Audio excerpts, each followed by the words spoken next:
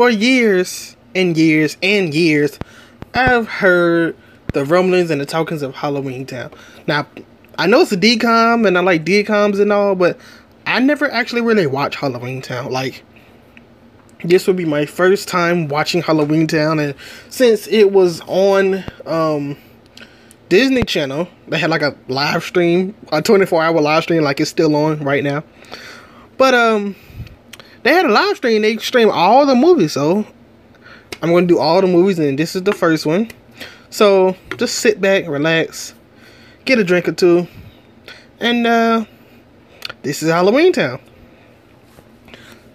So with me coming into this movie with fresh eyes, like I've seen the pumpkin and I I know what it's about. It's kind of like Hocus Pocus in a way, but um, with me getting coming into this with fresh eyes, I gotta say, I see why people like this movie. I see why a lot of people like this movie, especially as a Halloween movie. Like the the the aspects in it are, I would say they are great. That they're taken seriously when it comes to like um how the monsters are portrayed and different monsters like the monsters, ogres, trolls, um, warlocks, stuff like that. They take it seriously when, in, in context when it comes. Now, you get uh, Marnie, and well, she's mad because she can't go out for Halloween. All the other kids go out for Halloween, but um, her mom doesn't want her to go out because obviously her mom knows something that they don't. So uh, grandma comes and uh, basically, grandma comes in and shows her magic, but the kids think that it's uh, Halloween ish stuff, so they don't. They obviously don't pick up on it right away. Um, so the the mom and the grandma end up getting into a fight, and uh, she basically tells grandma to go home. The which one? Marnie is eavesdropping. She hears them talking about ghosts and not ghosts, talking about wizards and witches and you know the powers and stuff. So when Grandma leaves, she follows them, and then the brother Dylan follows them, and then Sophie follows them. So now they're all on this bus going to Halloweentown, which is in a different dimension, and they get to Halloweentown. And it's like nobody knows that there's brand new people there. Like they just accept them willy nilly, which is okay, understandable.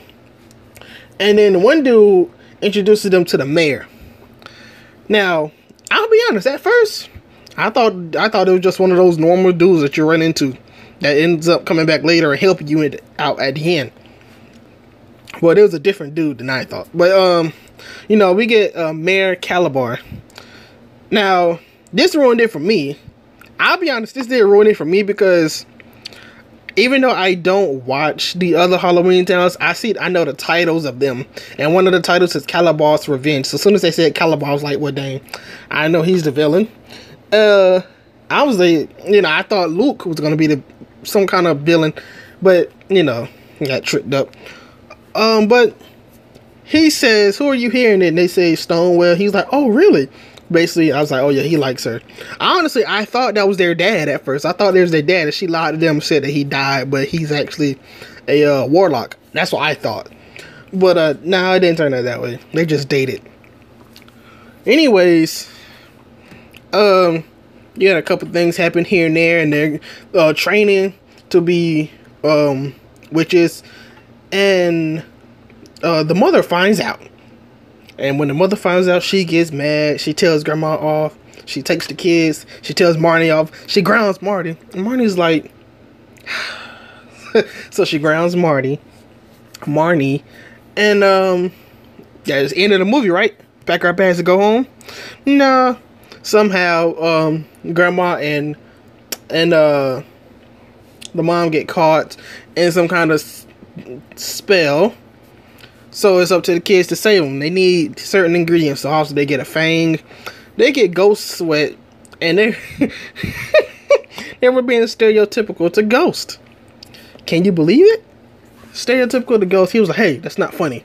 Cause you know she she put a sheet over her head talking about ooh he's like really you gonna really do this right now but um they end up doing it they end up you know what I'm saying getting the spell done. The brother still doesn't believe, though. He doesn't quite believe. But when they need his help, he believes. It's up to Marnie to, to stop Kalabar. Everybody, I guess, just accepts Kalabar turning evil, but You know, Marnie runs away with some kind of stone or something that some something that he needs, and well, he ends up getting tricked, and then Marnie goes and puts it in a pumpkin. It's like a special power in the pumpkin, so you put it in a pumpkin, and boom, everything is back to normal, and Kalabar is no more.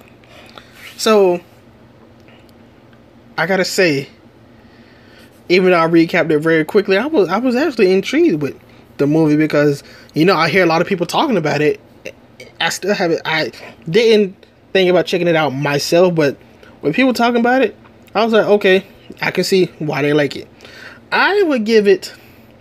I give it a seven, seven and a half, eight out of ten. I know people gonna be like, that's too low, but I mean, I do like other Halloween movies more than this. Just me personally, like I think Casper and Wendy is one of my favorites. Uh, Vampire in Brooklyn is one of my favorites. Little Vampire is one of my favorites, like that I like to watch on Halloween. Me personally, but um, thank you for watching this movie review. You got anything else you want me to do? Like, comment, subscribe, and share. Tell me what you want to do. That's Halloween based, uh, or just anything really. Prime time is all the time. Come on, push the button. Yeah, come on, push your button. Push the goddamn button. Push the goddamn button. You heard what she said.